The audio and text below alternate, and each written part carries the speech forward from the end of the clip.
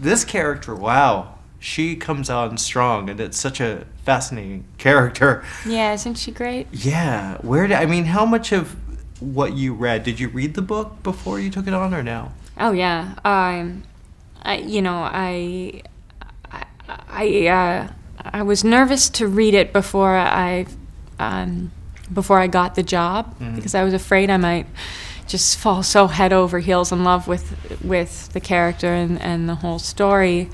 I was already so excited at the prospect of working with Joaquin and Paul, and then I thought if there's just this other element, you know, I, I might I might just really fall apart if I don't get this. So it wasn't until I knew I was going to get my call back that I that I read the novel, and I read it very quickly and um, in two days, uh, the same weekend that I read the script for the first time. So I kind of just inundated with all of this information and missed so much on that first read. But then throughout the shoot, I, I just kind of lived in the novel. I read it and reread it, and it's, you know, that's a treat to get to do. I mean, Pynchon's language is so much fun. So, Yeah, it's, Yeah. it seems like it would be like just from a viewer perspective, it's almost a movie you can't just watch once because there's so much information Right. in the little moments, and, and you got to live that.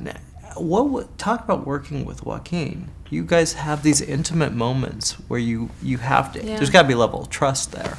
Absolutely. I mean, I, I really, I, I, I loved working with Joaquin so much. He's so inventive and courageous and playful and and hyper intelligent about, um, I mean, in his work and uh, it. Yeah, I, uh, I feel I feel really spoiled rotten. You know, What set it- the bar pretty high. What is it about Shasta that that you see in yourself? Never really thought about it like that. Um, it's just not really the way that I approach a character, you Mhm. know. Um, yeah, I don't know. It's a good question.